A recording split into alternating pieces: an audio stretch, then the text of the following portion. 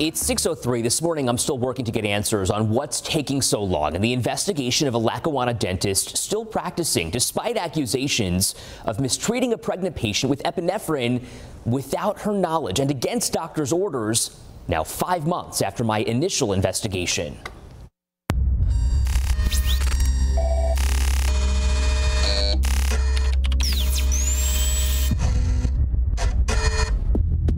Wanted to give you an opportunity to have your voice heard in this story. Um, no comment, sir. Dr. Richard Charlap, a dentist on South Park Avenue in Lackawanna, is accused of using a local anesthetic with epinephrine on a pregnant patient without her knowing, despite having a doctor's note that said no epinephrine.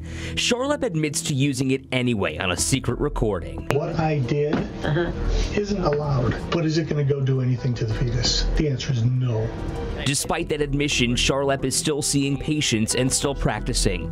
Days after my investigation aired in March, State Senator Patrick Gallivan called for the state education department to open an investigation into Charlap.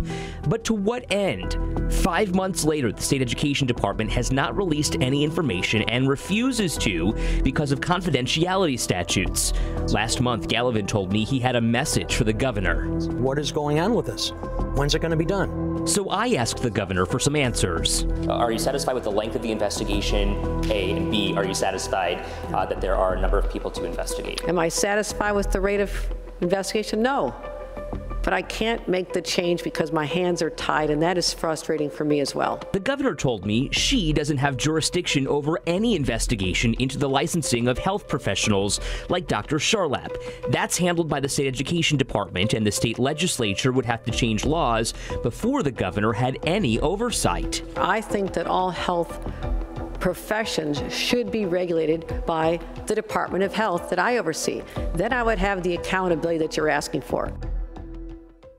The governor says her administration has no authority over the state education department. If and until a change in law is made, state ed is policing itself, which is something the governor said she wishes would change.